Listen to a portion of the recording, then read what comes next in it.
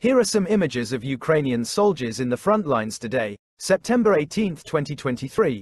Ukrainian soldiers fire artillery at Russian positions in the Donbas region. Ukrainian soldiers clear landmines in a liberated village in the Kharkiv region. Ukrainian soldiers prepare for a counteroffensive in the south of Ukraine. Ukrainian soldiers take a break from fighting in the Donbas region. Ukrainian soldiers celebrate a victory